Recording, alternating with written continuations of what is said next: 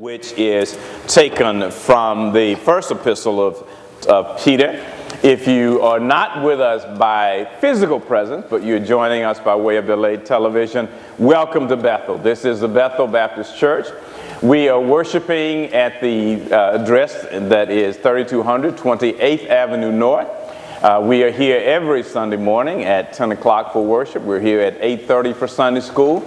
We're here on Wednesdays at 7 o'clock for our midweek Bible study. We invite you to come. If you have an opportunity, if God gives you the opportunity and the Holy Spirit gives you the unction, please come and join us. We'd be so happy to have you. That's the Bethel Baptist Church, 3200 28th Avenue North. The phone number is 205 322 5360. Today we're going to be studying from the book of 1 Peter.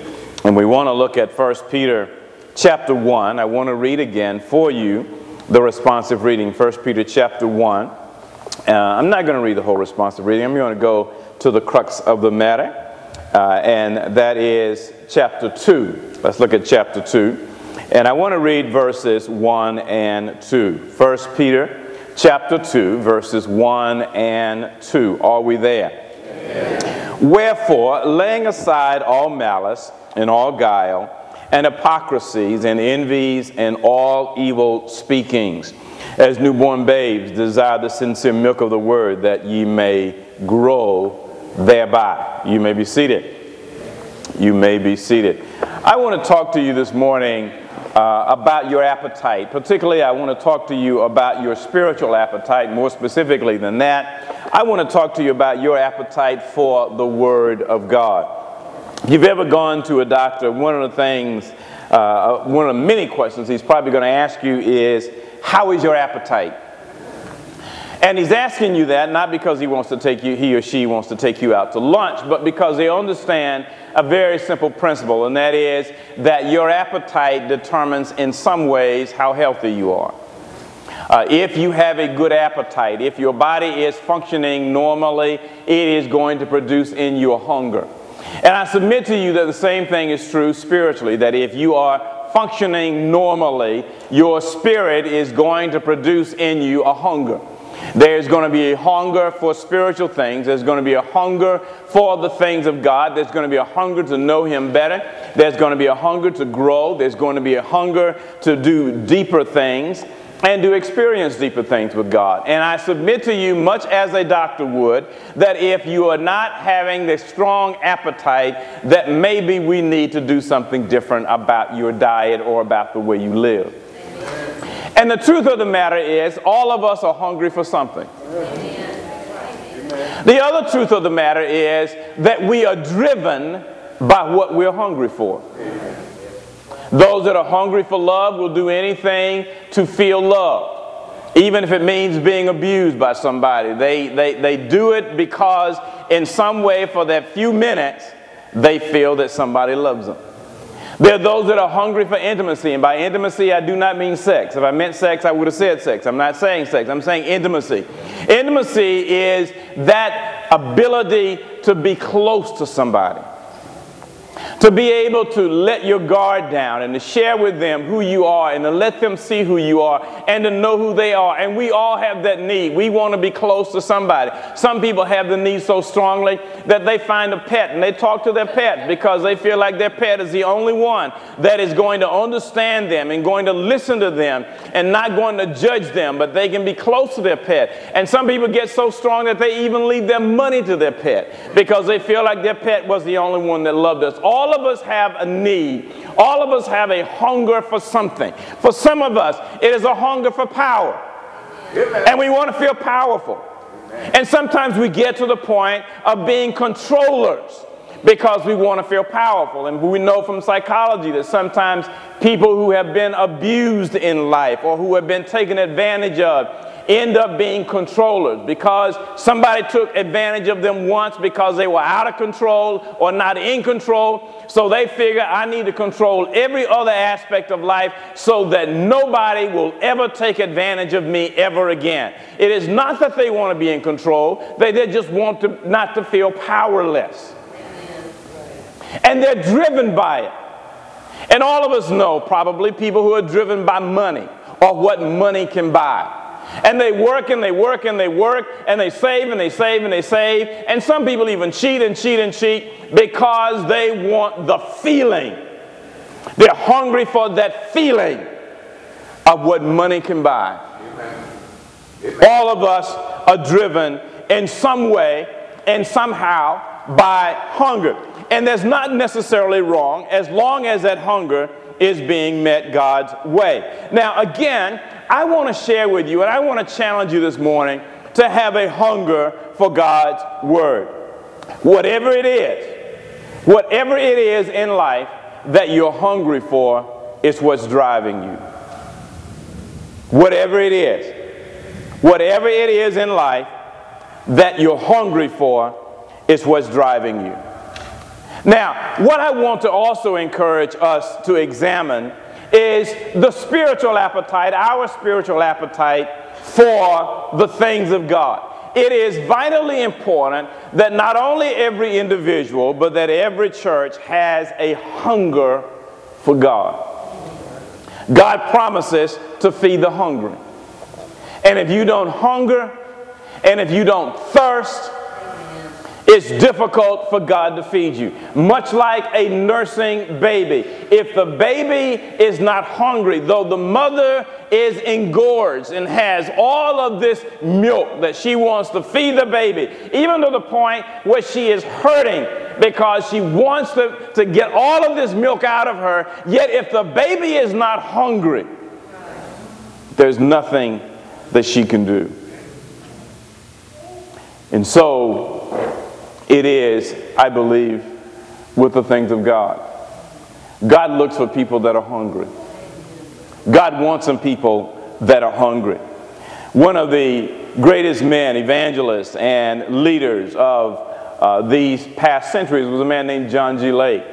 And, and as you study John G. Lake, John G. Lake was very hungry for the things of God. John G. Lake, according to things written about him, spent nine months praying, praying for God to send the miraculous, that God would do miracles through his life.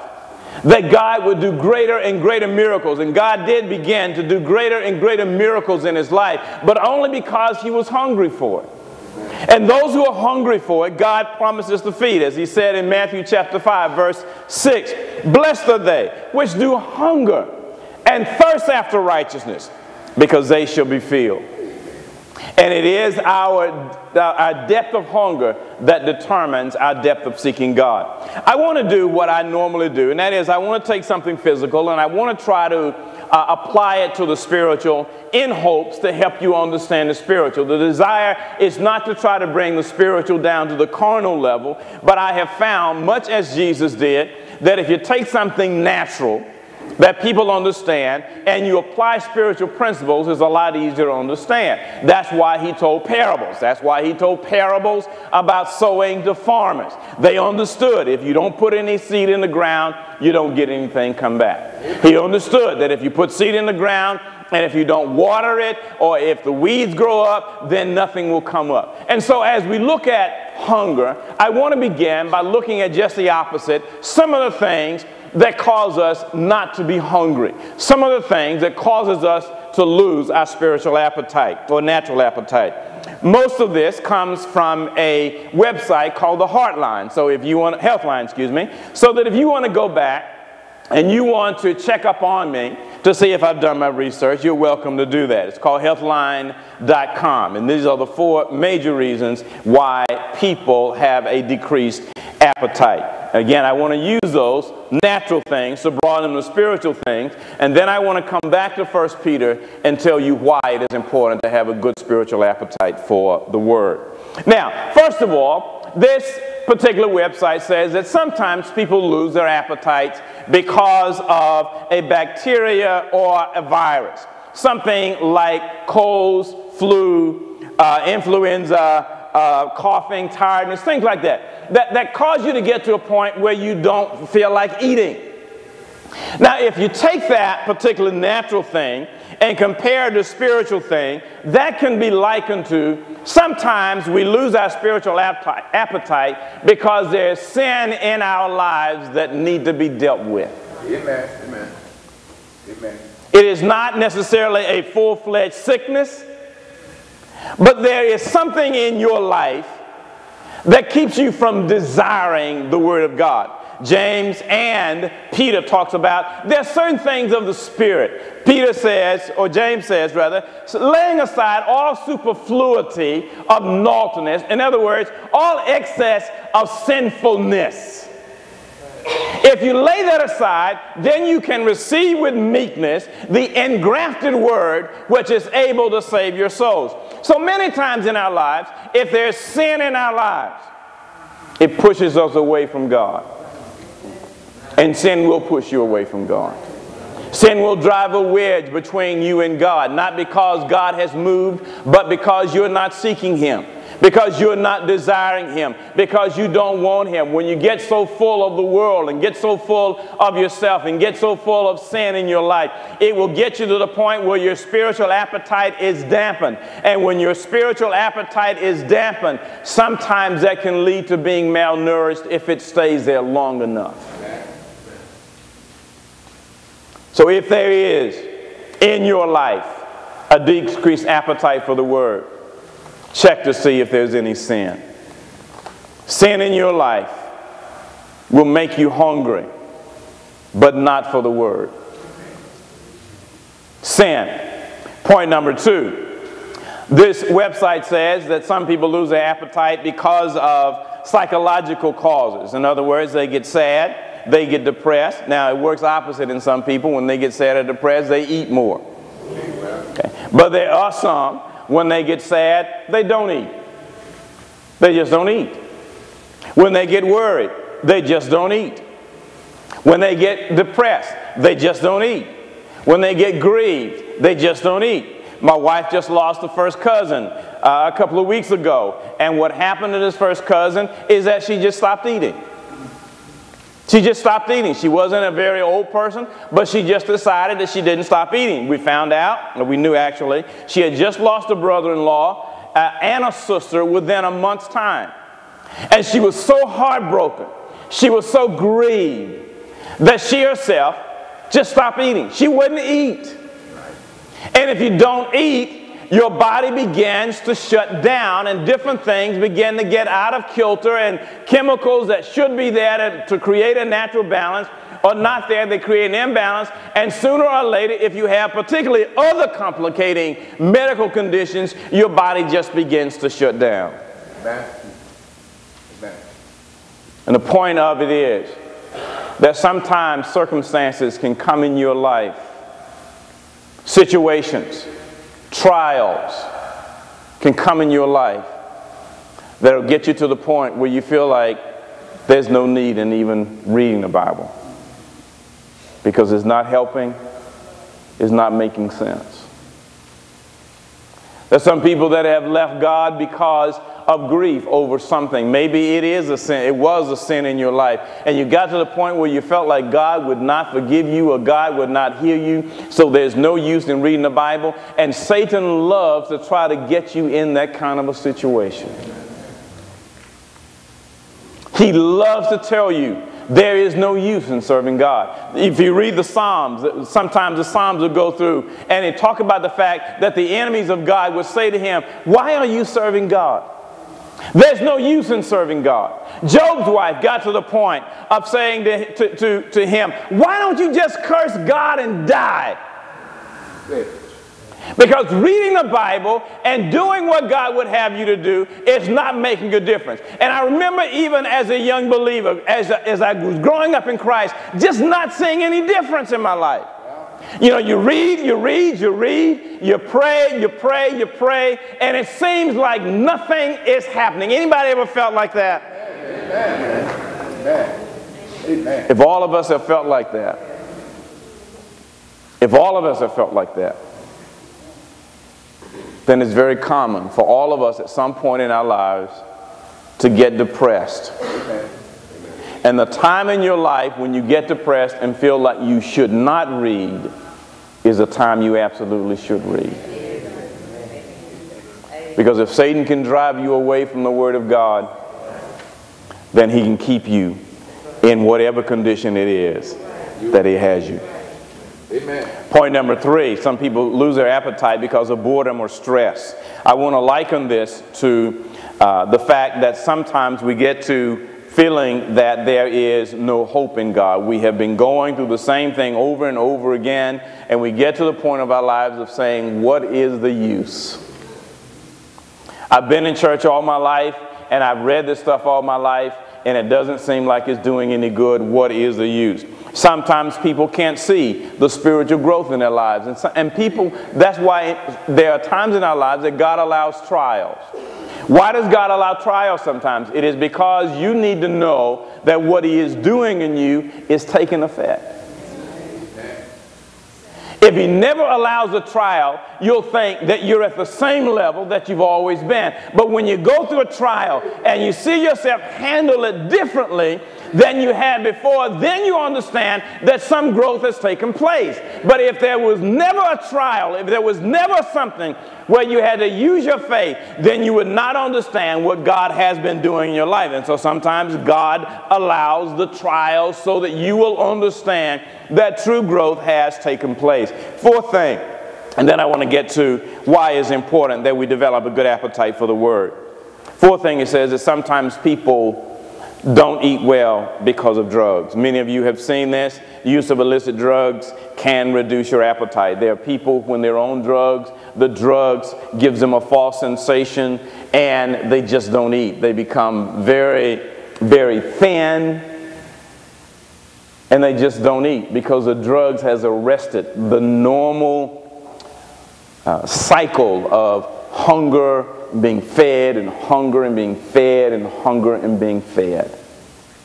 And if there's some kind of spirit that you're dealing with, some kind of supernatural thing that has come in and taken uh, oppression in your life, not possession, oppression, where it's more than just a temporary thing where you are grieving more than for a month or so, but you're grieving for years. That is unnatural. And Satan can come in and set up a camp in your life. And that, that becomes very, very harmful to you. And so, drug use, any other kind of illicit, self destructive behavior will rob your appetite. Now, let's go back to the word. 1 Peter chapter 1, I want to look at verse 23. And these are four reasons why the Bible tells us that the Word of God is important and why all of us should have a very, very healthy appetite for the Word. And let me say while I'm saying this that one of the reasons why we have Bible study, why we have Sunday school, why we have actually two Bible studies is so that you can be fed the Word of God. It is not good songs that is going to sustain you in your time of temptation. Now, the Bible does say that when I'm in trouble, you can pass me about with songs of deliverance. I understand it. The book of Psalms says that. But when it comes to spiritual warfare, when it comes to fighting the enemy, Jesus did not sing songs. Amen. He didn't break out with a charge to keep I have, a God to glorify. Never once do we read when he said, When I can read my title clear to mansions in the skies, I'll bid farewell to every fear and wipe my weeping eyes. He said, It is written. It is written. And one of the things that I, am really concerned about, particularly from a global church, is that we've gotten so, so used to believing that God is a genie that we can rub and say, Bless me with a Cadillac, or bless me with a new house, or bless me with a new job, or bless me with this and bless me with that. That we, we, we fail to understand that the Word of God was given not just so we can be actualized or self actualized self-actualized. The Word of God is given so that we can be what God has called us to be. And there's more than just having things. Nothing wrong with things. But things are not the substance of our lives. If your life is built and based on what you have, your life is built on a shallow foundation. You should always be more than what you have. You should always be more than what you have. Your life should be more than what you have, such that if all of it goes, there's enough in you to do it again. If all of your money goes, there's enough word in you, there's enough character in you, there's enough patience in you so that God can take you where you are and do it all over again because who you are is greater than what you have.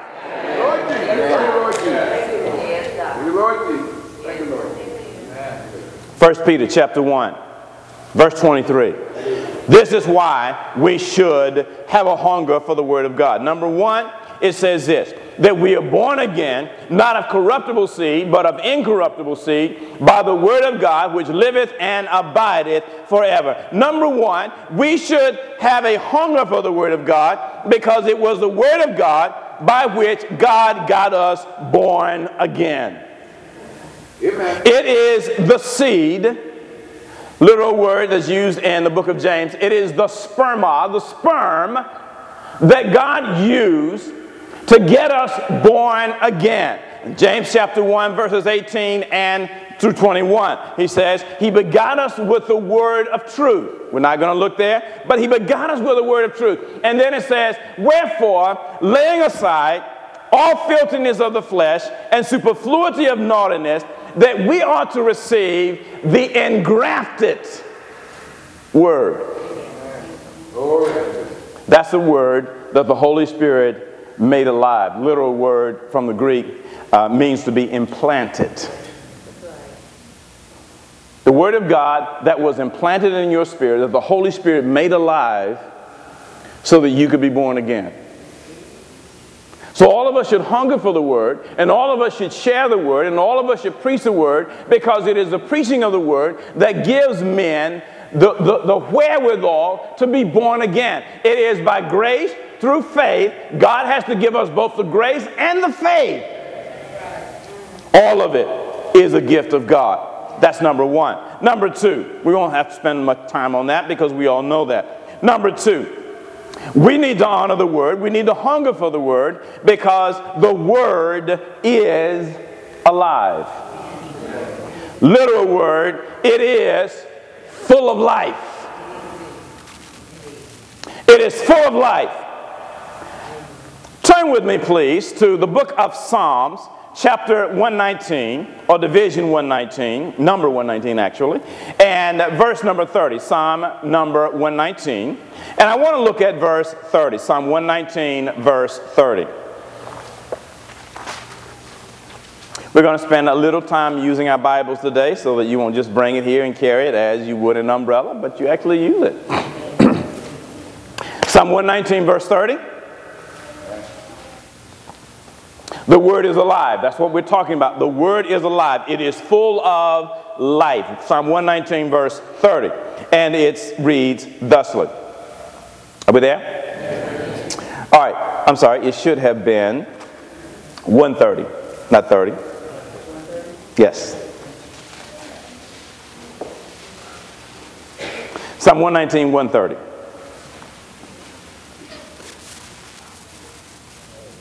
Are we there now?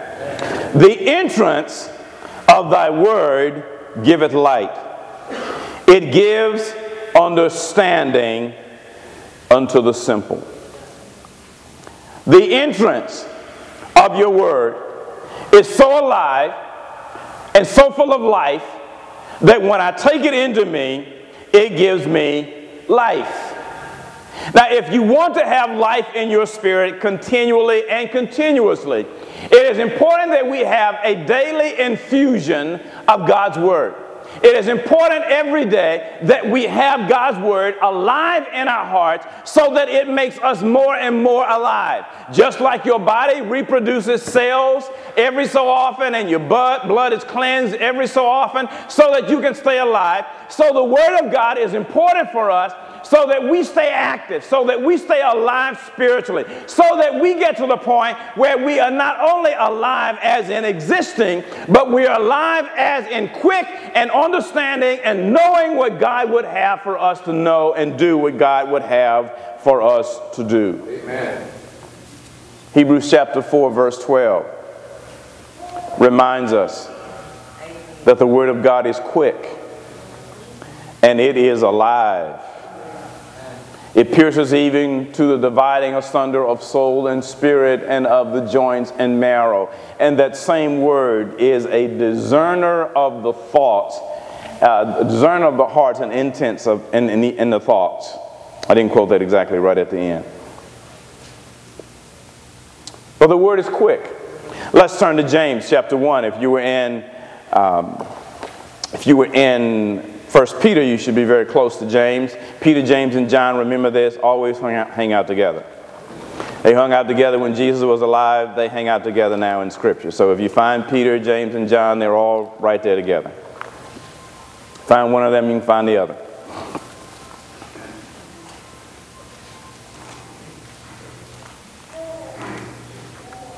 James chapter 1. I want to look at verse number 22. I want to begin at verse 22. James chapter 1, verse 22. We're talking about why it is important that we have a healthy appetite for the Word. And point number two is because the Word of God is life. It is life to our spirits. It is fresh. It helps us to understand who we are, where we are, and not only who we are and where we are today, but where God wants to carry us. That's how alive it is. It's not only alive to make you born again, but it's also alive to identify where you are right now, but also alive enough to take you where you need to be in the future. James chapter 1, what verse did I tell you? Verse 22, very good. But be ye doers of the word. We already talked about verse 21. But be ye doers of the word and not hearers only, deceiving your own selves. For if any be a hearer of the word and not a doer, he is like unto a man beholding his natural face in a glass. For he beholding himself and goeth his way, and straightway forgetteth what manner of man he was. But whoso looketh into the perfect law of liberty and continueth therein, he being not a forgetful hearer, but a doer of the work, this man shall be blessed in his deed. Now, James is, is very clever in the way he describes the Bible. And he says this that the Bible is like looking at yourself in a mirror. That when you study the Bible, when you read the Bible, when the Holy Spirit is dealing with you as you're reading the Bible, it's like looking at yourself in a spiritual mirror. That you can look at yourself. And, and, and, if you read a verse that deals with the thoughts of your mind, that, that, that the Bible reflects what you have going on on the inside of your mind. The physical mirror can only reflect the external. The spiritual mirror reflects the internal. When you look at the Bible, if the Bible is being preached, it should convict you down to your very core.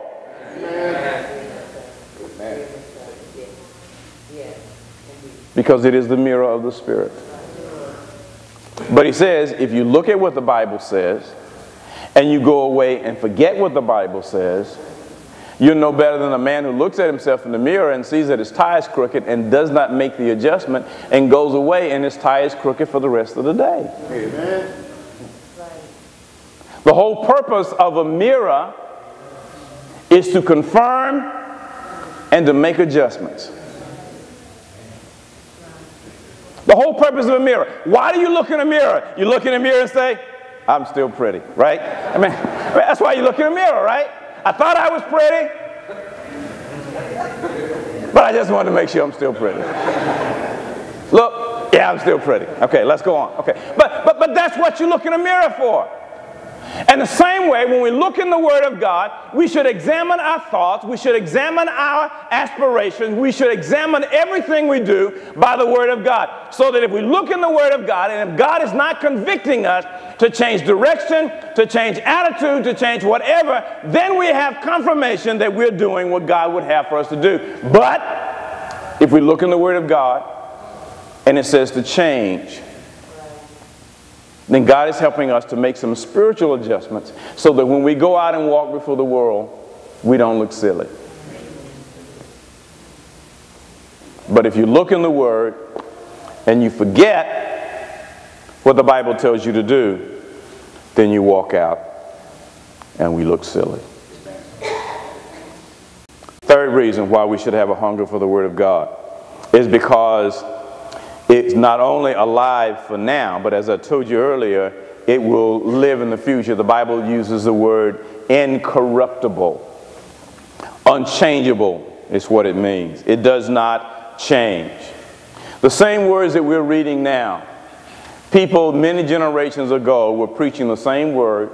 It has the same effect. It can change the same kind of circumstance the same kind of situation, the same word that Peter, James, and John used to say, Silver and gold have I none, but such as I have give I thee in the name of Jesus Christ of Nazareth, rise up and walk. It works now. The same thing Jesus said when he said, Thou shalt not tempt the Lord thy God, and him only shall you serve. It'll work now. The same word when Jesus said, Get thee behind me, Satan. It'll work now. The same word where it says, Casting down imaginations and every high thing that exalts itself against the knowledge of God, and bring the captivity every thought to the obedience of Christ. It'll work now. The same Isaiah 26 3 that says, Thou will keep him in perfect peace, whose mind is stayed on thee, because he trusts in thee. It'll work now. And guess what? Tomorrow, it'll still be there, it'll still be working.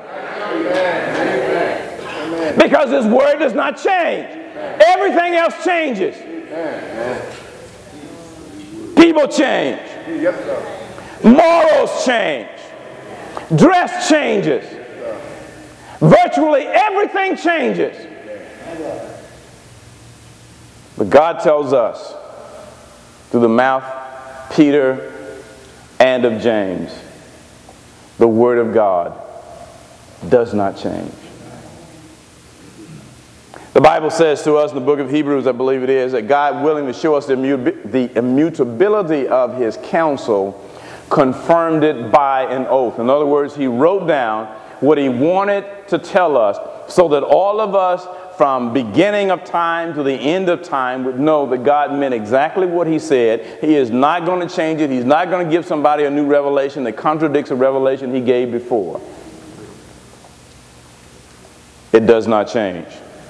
The psalmist said, Thy word, O Lord, is settled forever in heaven.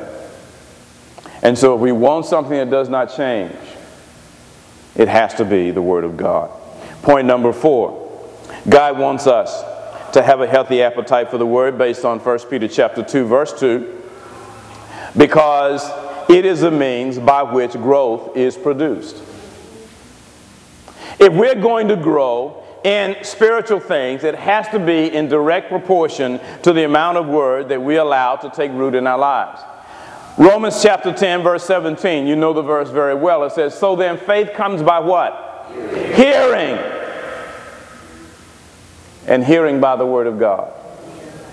That if no one had ever preached to you that you could be saved, you would not have had faith. God never would have imparted to you faith and grace so that you could respond to that. If God never would have preached to you that you can have peace in your mind in the midst of circumstances, you would never have had faith for that, and God never could have imparted grace to you. Well, it is important to you that in every aspect of God's word that you have someone putting that into your spirit.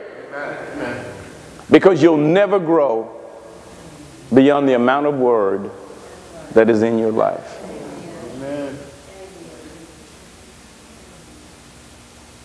If you don't believe God can heal today, you will never grow beyond that point because you don't have faith for that. Growth is a product of the Word of God growing up in your life. And if that is not in your life, then it's difficult. Remember 1 Peter, 2 Peter rather, chapter 1, verses 3 and 4.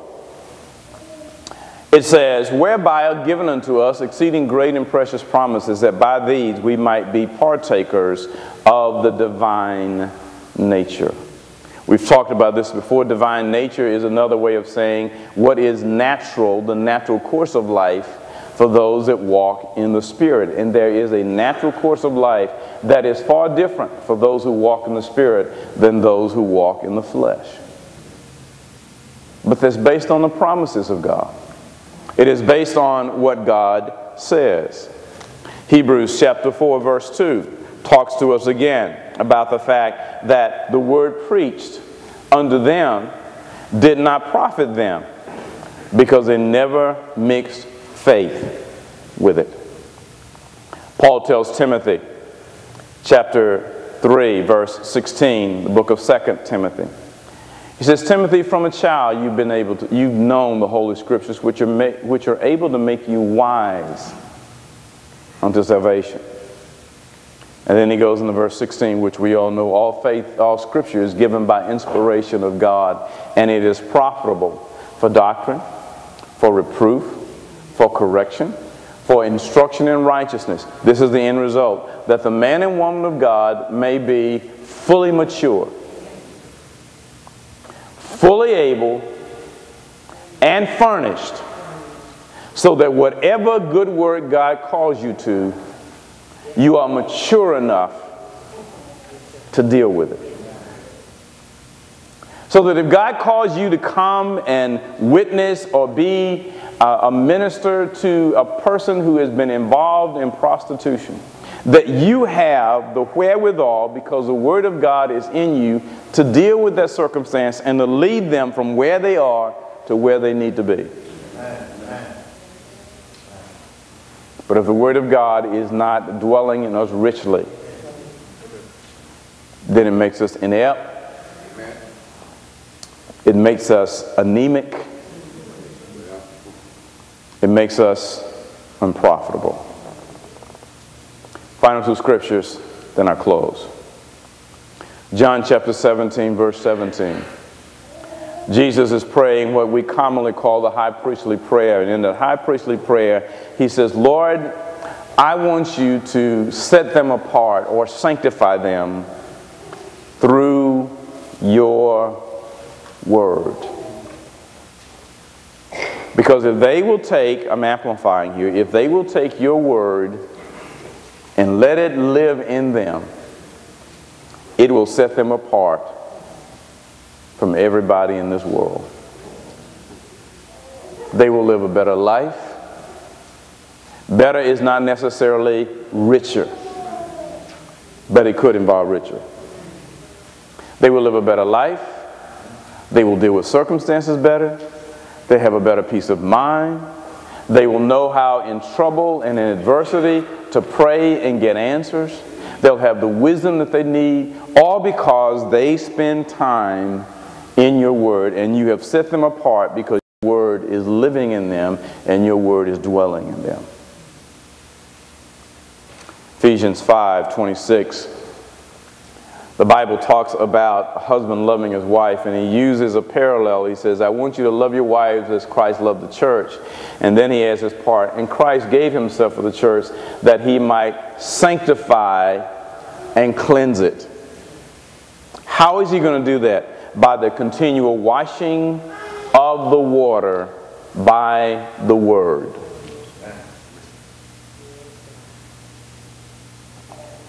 C.S. Lewis in his book, Mere Christianity, makes a quote that I want to close with today.